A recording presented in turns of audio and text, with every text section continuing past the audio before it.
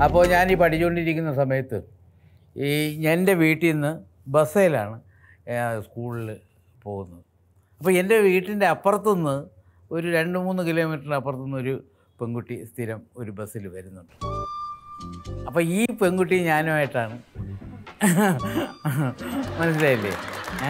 അപ്പോൾ ഇവൾ വരുന്ന ബസ്സും കാത്ത് ഞാനവിടെ നിൽക്കും. അതിൽ കയറും. കയറുമ്പം തന്നെ നല്ല ചിരിയോടുകൂടിയൊക്കെ ഇവിടെ ഇരിക്കും ഇങ്ങനെ കാണിച്ചുകൊണ്ട് കയറും.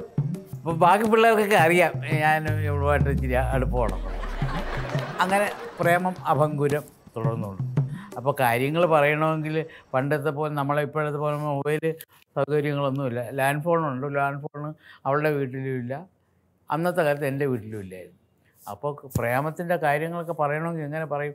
എഴുത്തിലൂടെ നമുക്ക് പറയാനുണ്ട്. അങ്ങനെ ലവ് ലെറ്റർ എഴുതി കൊടുക്കും. ഈ കൊടുക്കുന്ന ഒരു സമയമുണ്ട്. അതാണ് പ്രധാനം.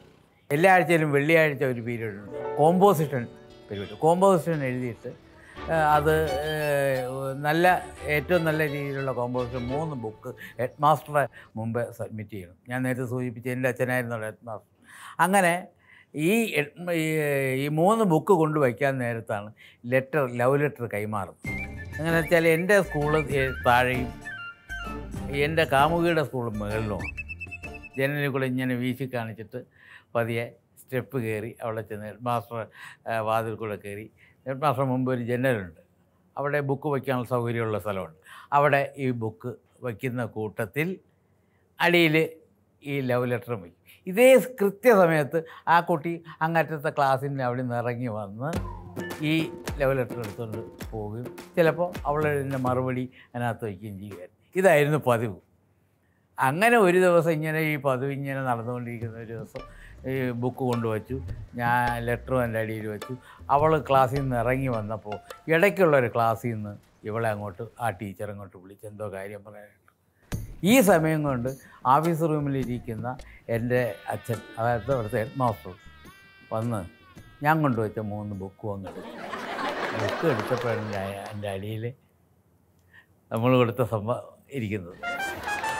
അത് പുള്ളി എടുത്ത് കൊണ്ടുവന്ന് പതിയെ വായിച്ചപ്പോൾ സംഗതി മൊത്തം അക്ഷരത്തെറ്റാണ് നല്ല വിദ്യാഭ്യാസമുള്ള കുട്ടിയാണ് ഞാൻ. മനസ്സിലായില്ലേ?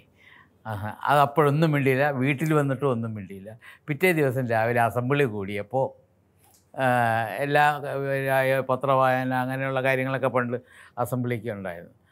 അങ്ങനെ ഇതെല്ലാം കഴിഞ്ഞ് അസിസ്റ്റന്റ് ഹെഡ് മാസ്റ്റർ വന്നിട്ട് പറഞ്ഞു പ്രേംകുമാർ എന്റെ പ്രേ എന്റെ പേര് പ്രേംകുമാർ എന്നാണ് കേട്ടത്. നിങ്ങളെല്ലാം വിചാരിക്കുന്നത് കൊച്ചു പ്രേമൻ തന്നെ. കെ. എസ്. പ്രേംകുമാർ എന്നാണ് എന്റെ പേര്.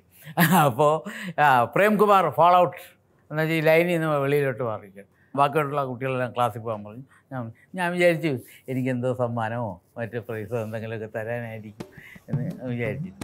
ഞാൻ ഈ എല്ലാവരും പോയതിന് ശേഷം ഞാൻ ഓഫീസിലേക്ക് കയറി ചെല്ലുമ്പോൾ എല്ലാ ടീച്ചേഴ്സും ആ ക്ലാസ്സിലുണ്ട് അച്ഛൻ ഈ തലേ ദിവസം കൊടുത്ത എല്ലാ ലെറ്റർ എടുത്ത് മേശപ്പുറത്ത് വെച്ചു. വർഗീസ് സാർ ഇതൊന്ന് വായിക്കണം. എട്ടാം ക്ലാസ്സിൽ പഠിക്കുമ്പോഴൊന്ന് ഓർത്തോണം. വായിച്ച് ഇപ്പോൾ എല്ലാ ടീച്ചേഴ്സിനും ചിരി അടക്കാൻ വയ്യ. മൊട്ടം തെറ്റല്ലേ അങ്ങനെ ലെറ്റർ വായിച്ചു.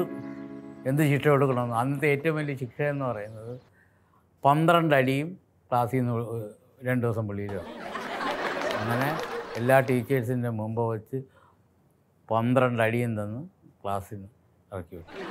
ആ പ്രേമം ആദ്യമേ അങ്ങ് പൊളിഞ്ഞു.